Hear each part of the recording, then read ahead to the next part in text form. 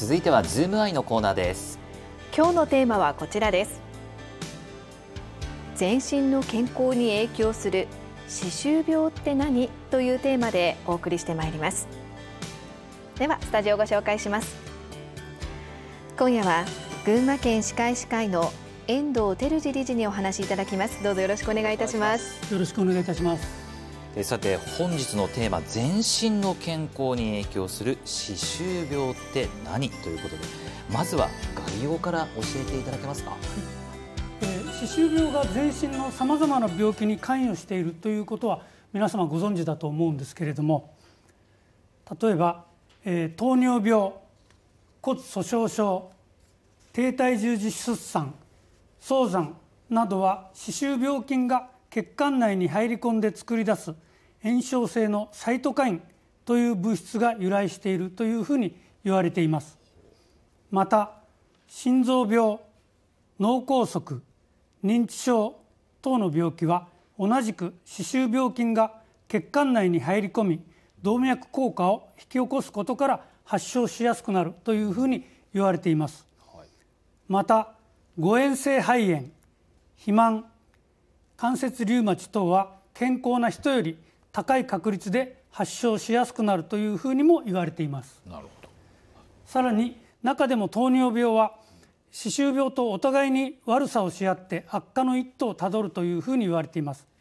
そしてこの糖尿病は感染症の砦となる白血球の働きを阻害してコロナやインフルエンザにもかかりやすくなるという怖い病気なわけです。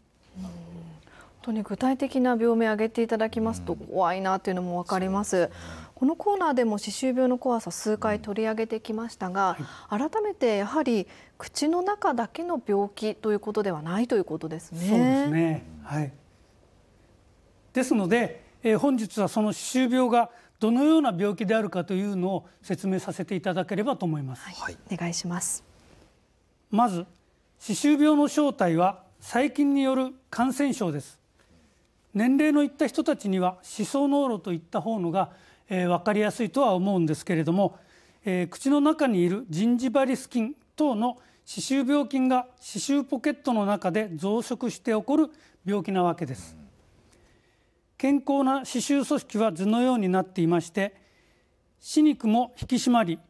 歯と歯茎の境目の歯肉口の深さも12ミリ程度で済んでいます。ですがこの境目の部分は歯磨きが難しくって、えー、磨き残しが出やすい部分でもあります、そしてこの歯垢プラークとも言いますがこれはネバネバしていて非常に落としにくい性質を持っています、うがい等だけでは、えー、落ちない性質を持っています、そして磨き残した歯垢プラークは細菌とうんちの塊ですので歯肉に炎症を引き起こす不潔なものです最初は歯肉だけの炎症なので自覚症状もありませんが歯磨きの時にたまに出血することはあります。体からの危険信号なのでこの段階で気がついて早めにアクションを起こしていただければいいのですが。はい次お願いします、はい、こちらですね。こちらです、ね、はい、えー、放置すると歯肉の炎症が進み歯を支えている歯槽骨も一部が破骨細胞の出現により溶かされ始めます。そのため歯周ポケットも4ミリぐらいと深くなります。深くなることによって空気のないところで活動するより毒性の強い嫌気性菌というものが活動し始め骨の吸収や炎症が進みやすくなります。さらに放置すると骨の吸収の進行により骨が揺らぎ始めます。根元が露出するため知覚過敏の症状も出やすくなります。歯周ポケットからの膿の排出により口臭も出てきます。もちろん歯肉の腫れ痛み噛むと痛い等の自覚症状も出やすくなります。末期では歯を支える歯周組織の破壊により歯の揺れが大きくなり自然に抜け落ちることもあります。ね、重度ということになりますと自然に抜け落ちるっていうのはちょっと怖いなと思いますが、あの歯周病は自覚症状があまり出ないうちに、まあ、静かに進行していくっていうこう怖い病気ということなんですね。はい。あのさらにはまあ全身の健康に影響を及ぼすということで、まあ、口の中だけにはとどまらない本当にこれ怖い病気なんですね。そうですね、ん。えー腫れるとか痛むとかそういったあの自覚症状が出てくれれば皆さん